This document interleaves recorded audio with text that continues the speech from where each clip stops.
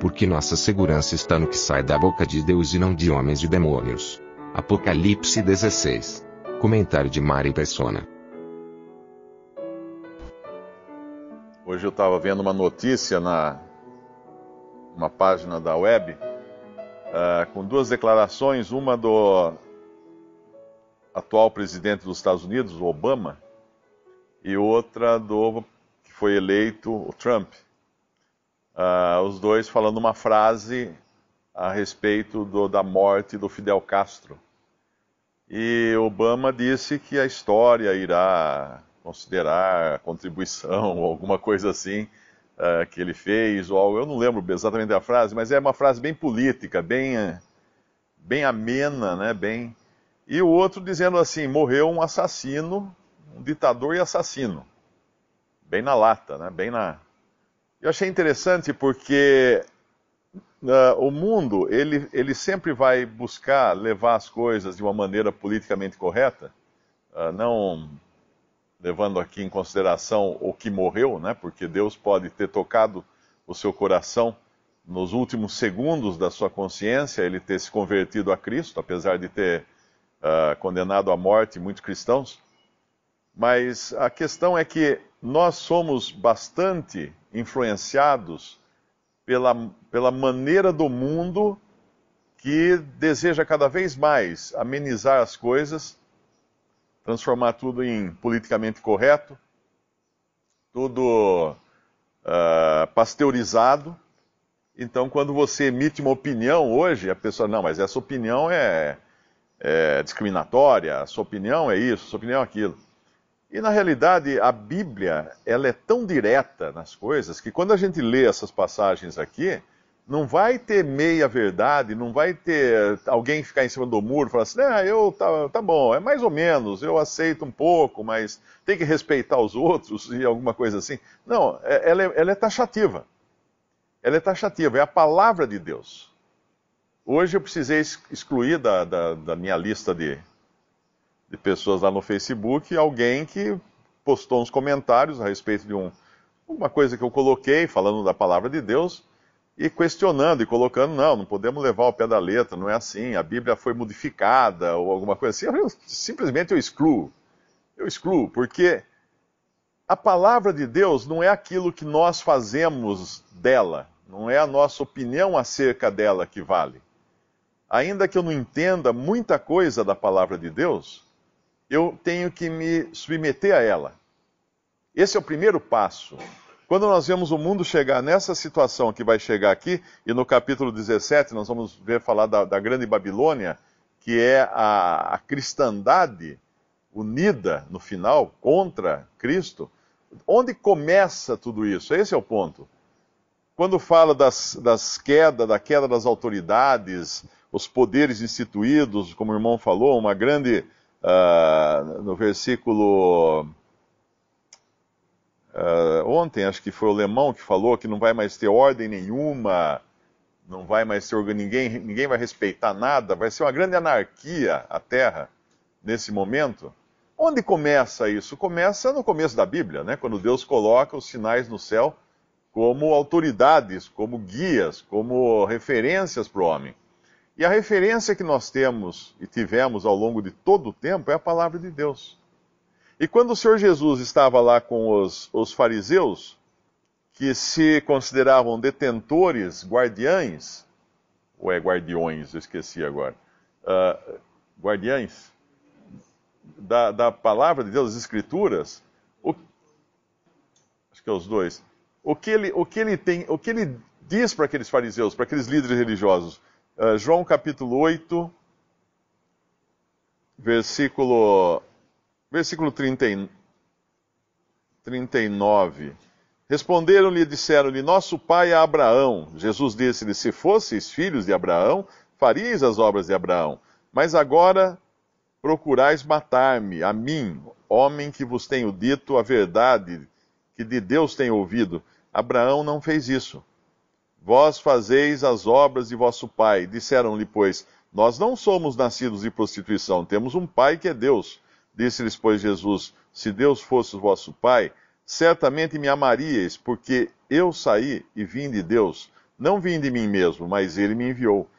Por que não entendeis a minha linguagem? Por não poderdes ouvir a minha palavra. Vós tendes por pai ao diabo, e quereis satisfazer os desejos de vosso pai. Ele foi homicida desde o princípio, e não se firmou na verdade, porque não há verdade nele. Quando ele profere mentira, fala do que ele é próprio, porque é mentiroso e pai da mentira. Mas porque vos digo a verdade, não me credes. Quem dentre vós uh, me convence de pecado? E se vos digo a verdade, por que não credes? Quem é de Deus, escuta as palavras de Deus. Por isso vós não as escutais, porque não sois de Deus. Essa é a, essa, esse é o fundamento de tudo. Quem é de Deus, escuta as palavras de Deus. Ah, mas eu não entendo, é complicado, é... mas tem que escutar. O que, vai fazer? Um dia Deus vai mostrar, Deus vai ensinar, vai dar o um entendimento, mas quem é de Deus escuta as palavras de Deus. O primeiro passo da apostasia é negar a palavra de Deus, é recusar a palavra de Deus, é construir uh, argumentos intelectuais em cima da palavra de Deus para atender às suas próprias, uh, suas próprias agendas né, do homem.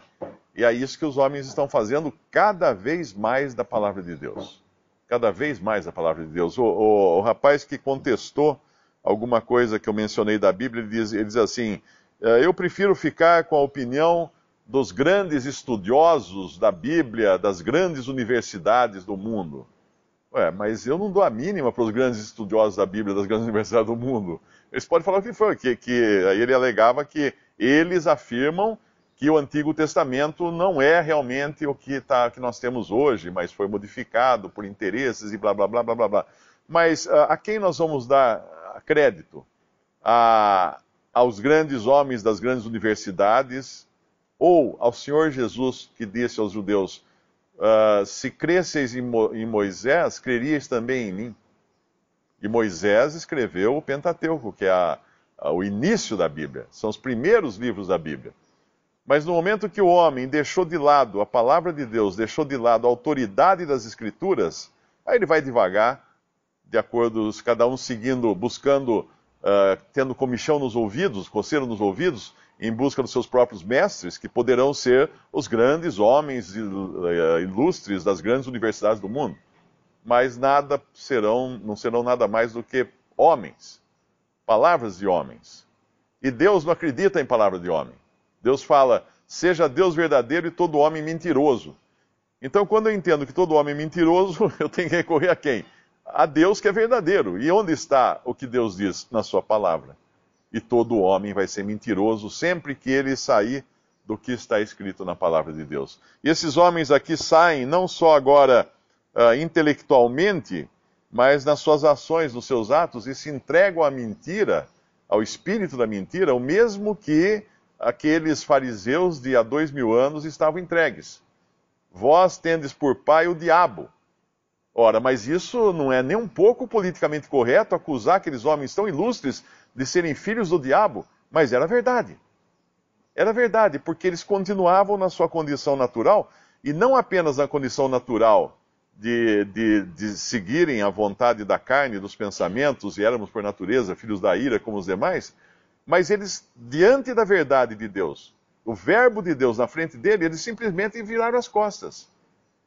E eu estava lendo uma, uma, frase interessante num livro que eu estou traduzindo do Bruce Anstey sobre as dispensações, e ele diz uma frase interessante, ele fala que para a apostasia não existe caminho de volta.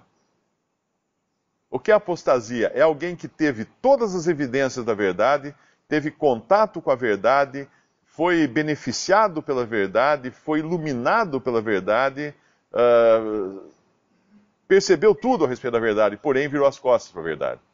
É de segunda Pedro é aquele que a, a, porca lavada volta ao seu próprio, próprio vômito, né? O cão volta ao vômito, não lembro exatamente agora como é, são as palavras, mas é aquele que um dia teve contato com a verdade e voltou as costas para a verdade. Para esse, então, não tem agora retorno, não existe caminho de volta. Porque ele já teve tudo que precisava e e se rebelou. E aqui é um, o que nós estamos lendo aqui é um mundo inteiro rebelde. É o mundo inteiro rebelde contra Deus, exceto, obviamente, aqueles que Deus agora vai guardar, uh, uh, como, como o irmão citou lá, daqueles onde havia luz nas, nas casas, né? enquanto havia trevas em todo o Egito, na casa, nas casas dos israelitas havia luz. E vai existir um, um povo assim, durante a grande tribulação, em meio ao mundo de trevas, eles terão luz, porque eles temem ou temerão da palavra de Deus e confiarão no Senhor. O irmão leu uma frase lá no Antigo Testamento, que é o que acontece aqui também, que eu acho que isso também serve para nós, mesmo aqueles que creem no Senhor Jesus. Uh, claro que a gente não vai chegar nesse extremo de que fala a frase, porque aquilo estava falando de ímpios, que era que eles endureceram seus corações. Primeiro eles endurecem seus próprios corações e depois Deus endurece seus corações, porque daí é um caminho sem volta. Mas quantas vezes nós, como salvos por Cristo, tendo conhecimento da verdade, uh, erramos, caímos em algum erro, em alguma contradição, e ao invés de simplesmente colocarmos a boca no pó, nos sujeitarmos diante de Deus, nos humilharmos diante da mão, debaixo da mão de Deus, nós endurecemos os nossos corações. Nós simplesmente falamos, não, eu não vou arredar pé agora, eu vou, eu vou continuar assim, endurecido. E quão terrível é isso, né? Porque Deus, obviamente, não, não vai querer ter comunhão com quem está numa, numa condição não flexível como aquela que ele exige dos que são seus.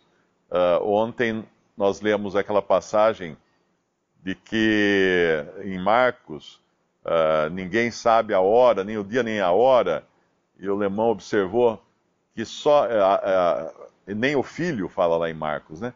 E o Lemão observou que ali uh, o único evangelho que fala que o filho não sabe o dia e a hora é o evangelho de Marcos. E, e, tem tudo a ver, porque Marcos nos fala de Jesus como servo. E a sua, a sua servidão a Deus, ao Pai, era tamanha que ele vai até esse ponto, né, de, de ali falar dele como não sabendo porque em tudo ele tinha que fazer somente aquilo que o pai dizia que ele fizesse. E isso é, é, a flexibilidade daquele que está nas mãos do pai. O pai manda aqui, vai aqui. O pai manda lá, vai lá. O próprio Senhor elogiou a, a fé daquele homem que falou que nem precisava o Senhor ir até a casa dele para curar seu servo, porque ele era, ele era, ele tinha servo sujeito a ele. E quando ele dizia para um servo vai, o servo ia. E quando ele dizia para o servo faça isso, o servo fazia. E essa é a condição do, do crente em Cristo. Maleável, flexível, nas mãos de Deus. Não na, na, nas mãos da sua própria vontade, mas nas mãos de Deus. E aí, então, esse vai conhecer cada vez mais qual é a vontade do seu Senhor, porque Deus não revela a sua vontade a quem não tem interesse em cumpri-la. Deus não vai mostrar para mim ou para você uh, o que ele deseja de nós, a menos que ele perceba no nosso coração o desejo de, de fazer a sua vontade. Caso contrário, nós vamos ficar na incógnita, sem, sem conhecer o próximo passo. Esse versículo 19 tem uma frase também que é muito interessante, né? Porque ela é repetida, depois quem quiser fazer uma pesquisa na Bíblia, ela é repetida várias vezes, porém uh, geralmente num outro sentido. No versículo 19 diz assim: A grande cidade fendeu-se em três partes, e as cidades das nações caíram. E da grande Babilônia se lembrou Deus para lhe dar o cálice do vinho da indignação da sua ira. Deus não se esquece de nada. E ele vai se lembrar de toda a iniquidade que os homens cometeram, de todo, toda a perseguição, de todo o mal que eles fizeram. Mas aí existe o lado positivo, que ele aparece, né? Eu fiz uma busca rápida aqui na, na Bíblia. Uh, lá, lá no, no Antigo Testamento, lembrou-se Deus de Noé e de todos os seres viventes que estavam na arca. Ele fez passar um vento sobre a terra. Lembrou-se Deus de Noé, porque ele sabia que Noé estava passando por aquele juízo. Depois ele, ele lá mais adiante, depois em Gênesis 19, lembrou-se Deus de Abraão e tirou a Ló do meio da destruição. É interessante que aqui Deus não fala, não fala que Deus lembrou-se de Ló, porque Ló era uma figura do crente carnal, não é? Mas ele se lembra de Abraão, que intercedeu por Ló. Intercedeu por Ló. E depois também lembrou-se Deus de Raquel e abriu a sua madre. E depois, uh, quando o, o, quando o povo de Israel estava debaixo do jugo de Faraó, ouviu Deus o seu gemido e lembrou-se Deus da sua aliança com Abraão, com Isaac e com Jacó. E por aí vai. Depois nós vamos encontrar várias passagens na Bíblia que Deus não se esquece dos seus. Forma, da mesma forma como Deus não vai se esquecer de nenhum, nenhum mal que os homens fizeram, nenhuma palavra tola que disseram a respeito de Cristo. Tem uma passagem no, no Evangelho que diz que nenhuma palavra vã né, que, que os homens falarem, nada disso vai ser esquecido. Mas da mesma forma, e bendito seja Deus por isso, ele não vai se esquecer de nenhum dos seus. Ele vai se lembrar de cada um dos seus. E vai se lembrar, citando agora o que vai acontecer também durante a grande tribulação, de cada copo de água fresca dada a um daqueles pequeninos irmãos do Senhor, uh, representados ali no, no, no, capítulo 25 de Mateus, pelo pequeno remanescente de judeus que serão perseguidos na, na, na grande tribulação, porém haverá gentios que darão um copo d'água para ele, que darão vestidos, que os vestirão, que os abrigarão, e Deus não vai se esquecer disso, de maneira nenhuma. Tem uma história muito interessante que aconteceu no sul da França, de, durante a Segunda Guerra Mundial, de irmãos que conheciam a respeito da, das dispensações e do lugar que o povo de Deus, o povo judeu, o povo terreno de Deus, tem no, no coração de Deus. E vários fazendeiros do sul da França esconderam uh, judeus para não serem deportados para os campos de concentração. Com isso, eles salvaram a vida de mais de 3 mil judeus e hoje isso já faz parte da história. Eles, Deus não vai se esquecer também dessas coisas. Deus não vai se esquecer de nada daquilo que os homens fizeram em honrando a Ele e a Sua palavra e honrando o nome de Cristo. Lembrei agora de uma passagem e, em relação também a, a esse remanescente que vai sofrer no mundo, uh, mas depois vai ser exaltado, não é? vai ser colocado como cabeça de nações, esse que hoje é cauda, que é Israel, o remanescente é Judá e depois Israel como um todo. Mas uma frase lá de, de Gênesis 47, não precisa abrir, eu vou só ler. E trouxe José a Jacó, seu pai, e o pôs diante de Faraó. Faraó era o soberano da maior potência do mundo. E o que acontece quando o Faraó está diante de Jacó? O versículo diz assim: E Jacó abençoou a Faraó. Normalmente a bênção é do maior para o menor. Não foi Faraó que abençoou Jacó, foi Jacó que abençoou Faraó. Isso já era uma figura do que será no final, quando Cristo vier restaurar a, a, sua família, por assim dizer, né? porque José é uma imagem de Cristo, é uma figura de Cristo, e aí o mundo vai se sujeitar então a essa nação que Deus chama de menina dos olhos dele.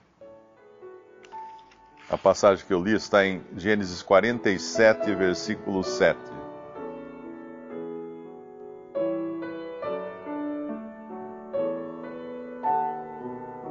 Visite respondi.com.br. Visite também 3minutos.net.